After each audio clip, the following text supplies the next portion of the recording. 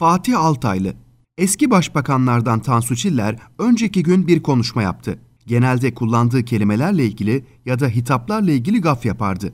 Ne bileyim mesela Trabzon'u Akdeniz'in incisi yapmaya söz verir, Cenab-ı Allah'ı miting meydanlarında toplananlara emanet eder, Zeytinburnu mitinginde halka Zeytinburunlular diye iltifat eder, yıllar önce büyük şehir olmuş Samsun'da Samsunlulara sizi büyük şehir yapayım mı diye sorar, rahmetli Haydar Aliyev'e Haydar Ali Bey diye seslenir, kimi kelimelere dili dönmez, ebe gübe deyip dururdu.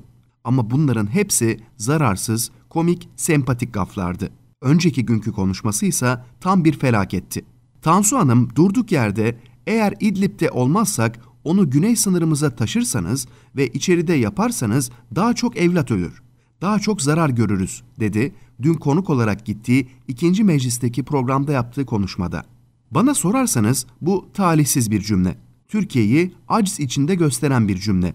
Türkiye'nin güneyinin düşman tehdidi altında olduğunu ima eden, işgal tehdidi altında olduğunu anlatan bir cümle.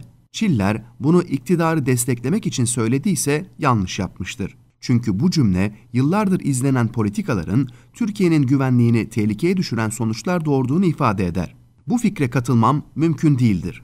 Politikalar ne kadar yanlış olursa olsun Türkiye'nin böyle bir riski yoktur. Böyle bir risk varsa bütün sınırımız tehlikededir. Gerçekten çok komik şeyler oluyor memlekette. Artık üzülmeyi, sıkılmayı bırakıp gülmeye karar verdim olan bitenlere. Şu şehitlerimiz olmasa içimizi yakan, gözümüzü dolduran gerçekten gülünç bir ortam var aslında. Oda TV'nin haber müdürü Barış Terkoğlu gözaltına alınmış. Olayda komik iki yön var. İlki, yahu gözaltına almak neyin nesi? Davet gelsin, ifadesini versin, değil mi? Sözde FETÖ ile mücadele var ama FETÖ taktikleri hala geçerli. Hadi onu geçelim.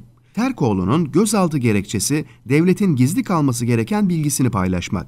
Bir Milli İstihbarat Teşkilatı mensubunun cenaze törenini ve ölümünü haber yapmak. Ama ilginç olan meclis çatısı altında bir milletvekili bu konuyla ilgili bir hafta önce basın toplantısı yapmış. İsimleri ve olayları orada açıklamış.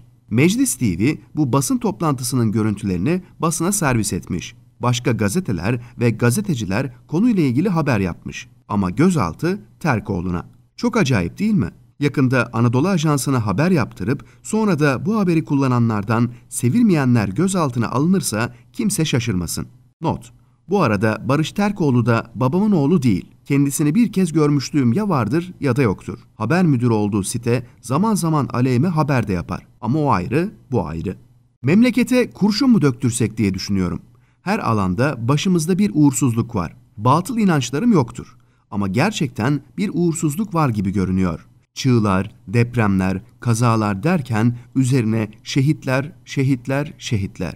Şehitler ve doğal afetler kadar sıkıntı verici olmasa dahi futbola da sıçradı uğursuzluk. Yaz başında en azından bizi biraz olsun avutup iyi sonuçlarla kaderimizi bir nebze hafifletecek olan Avrupa Şampiyonası öncesi iki önemli oyuncumuz sakatlanmış. Önce forvetimiz Cenk Tosun'un çapraz bağları kopmuş ve 5-6 ay sahalardan uzak kalacak diye dertlenmiştik. Ardından Ozan Kabak'tan 3 aylık bir sakatlık haberi geldi.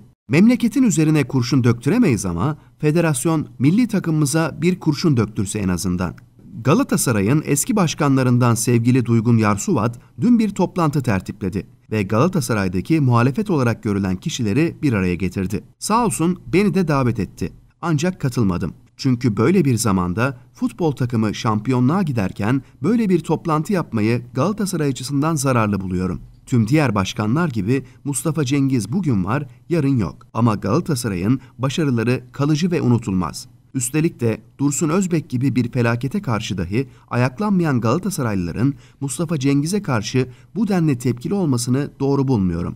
Cengiz'in tavırları bozuk mu? Bozuk. Galatasaraylılara gereksiz hakaretler savuruyor mu? Savuruyor. Kendisiyle hesaplaşma günü bugün mü? Hayır. Ne zaman adam oluruz? Zamansız öten horozun bir işe yaramadığını anladığımız zaman.